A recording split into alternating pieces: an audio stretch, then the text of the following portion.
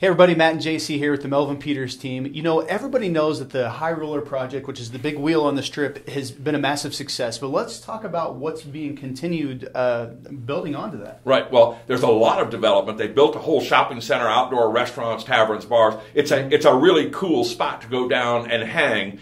Uh, in addition to riding the the Ferris wheel, it's not a Ferris wheel, whatever it's called. But what's more important than that is the development that's going on on the strip right or, adjacent to that, as a part of that, and right around it. They're actually spending now over a couple hundred million dollars on a new project. You know the project? Yeah, it was actually formerly the Imperial Palace. Correct. Got rebranded to the Quad, and now it's going to be The links. the Linq. The Links Hotel. So, and they're going to put a few hundred million dollars into that project. Now, what's important for the people that are watching this yeah, video? what's that mean? What it means is there because that's not necessary. It's not a new hotel. This is just new branding. This is money being spent. What it means is developers and investors are saying, you know what, Las Vegas is the place to come and invest money. Mm-hmm. We see potential here. We still see further growth here.